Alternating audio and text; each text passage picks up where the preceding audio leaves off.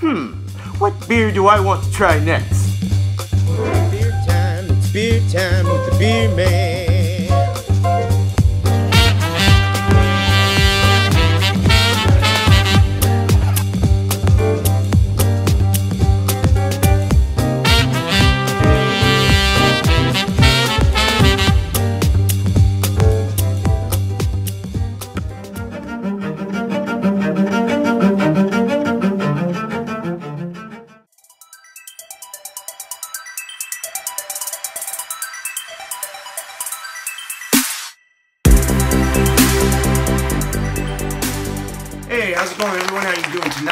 Today, wherever you're from in this world? Yeah, I'm doing good today. It's my day off. It's a beautiful day outside. Can't wait to go do some gardening with my lovely wife.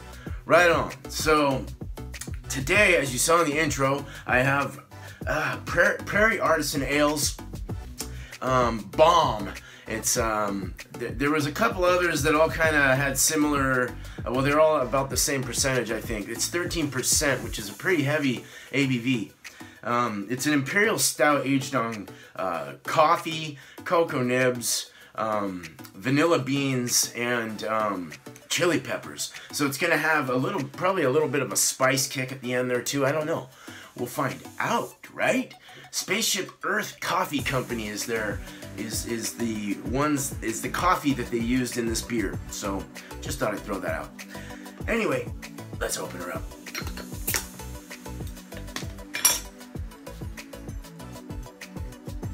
Whoa. That looks oily.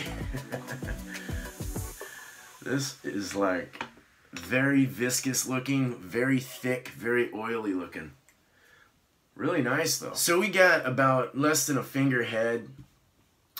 Um, you know, I, that's common in a higher percentage beer, so um, obviously it's showing that it's very thick and viscous like and oily.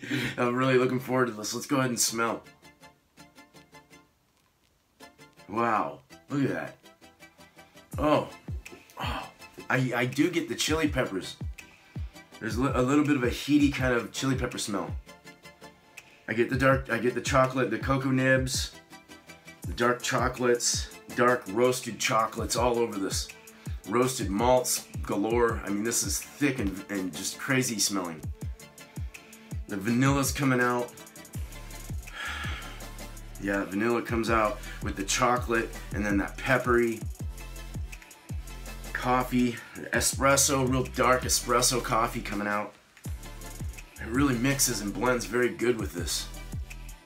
Let's go ahead and look at it. So we're getting really excellent lacing on the glass. It's really thick and just very lavish and staying there and moving slow. It's got an oily presence on on the uh, on the on the glass. Um, very opaque. Can't see through it for sure. And the lacing on the glass is really thick and just very lavish and staying there and moving slow. It's got an oily presence on on the uh, on the on the glass. Um, very opaque. Can't see through it for sure. And so it's got slow to medium rising bubbles going on. It's a very oily looking bubble, very tightly woven. But let's go ahead and taste this. It's driving me nuts.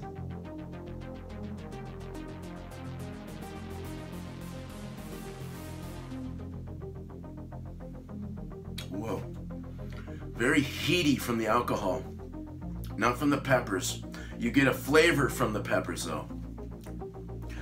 You get that bitter dark chocolate um, and uh, that bitter dark chocolate, the unsweetened chocolate kind of feeling on, around the edges of your tongue, along with a real resinous, alcoholic like um, existence that kind of floats around your tongue and goes down your your. It has a real a nice alcoholic um, and heated finish with a with that dark bitter chocolate finish as well. Um, the body is super robust, just woo, like dense, like heavy. You know, like it's not. It's it's very very heavy actually.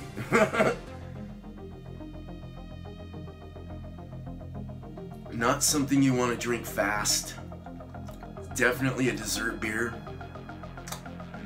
It's very filling and thick and rich around the mouthfeel. It's very silky and smooth at the same time.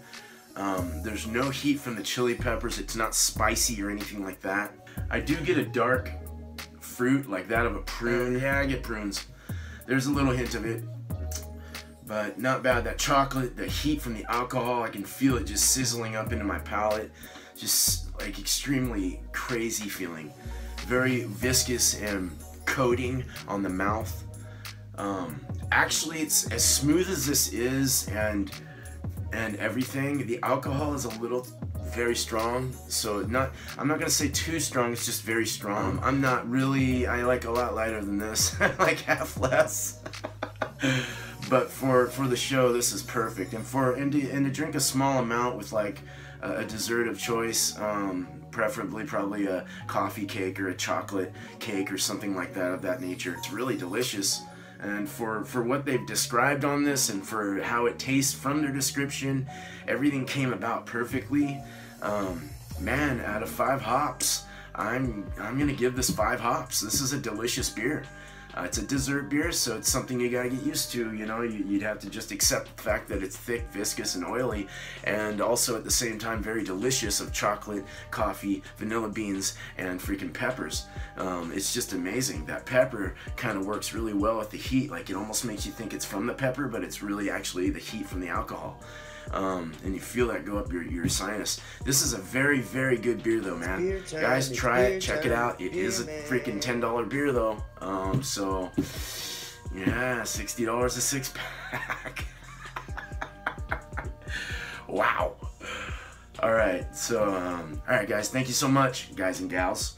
Thank you so much. Um, and uh, I just appreciate everything, appreciate the support. Please comment, let me know what you think. If you've had it before, let's compare notes. Um, right on, if you're new to my channel or if you haven't already, please subscribe and hit that bell. Hit that bell so you get informed automatically when I put up a new show. Try to do them every day. I try. And uh, hit that like button, that'd be great. Thank you so much. Have a good day, night, wherever you're at. Cheers. Peace. I'm out of here.